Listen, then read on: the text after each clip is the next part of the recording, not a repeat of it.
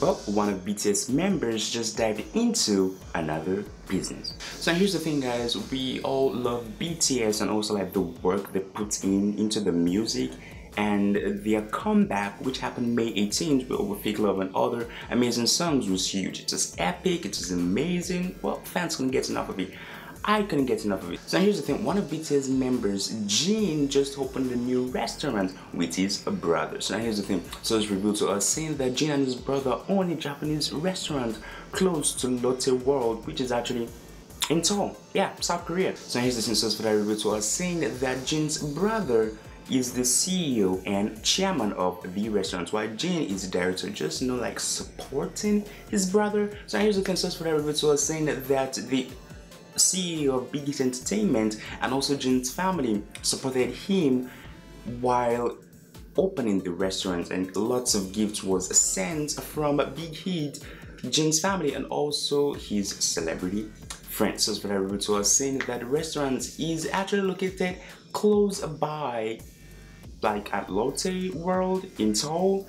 Yeah, and it actually has this Japanese feel to it because actually it's a Japanese restaurant. What happens at Jin restaurant is called Osu Mushi. I don't know if I pronounced that well, probably. Yeah, Osu Mushi.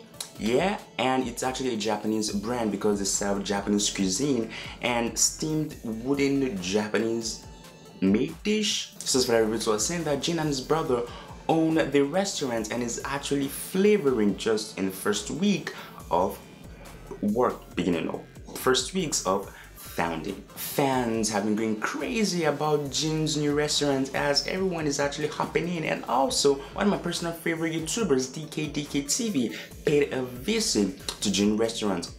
Why they did that was definitely because they want to like try out you know that cuisine and see if it's worth the hype fans and every body is actually placing on the restaurant. I'm going to have a link down below so the video where DKDK TV shared their experience on about Jin restaurants, yeah, yeah, check out that video. It's really amazing. So here's the thing, so for that review, so I saying that fans are looking forward to eating at that restaurant and also their Korean army fans actually diving in, storming in to try out the food, but mm, not really everyone is actually trying to get a glimpse of Jin's face. Well, I haven't actually tried the food probably maybe because it's quite expensive but hey whenever I go to Seoul I would definitely try it out and also give you guys feedback on how the food tastes.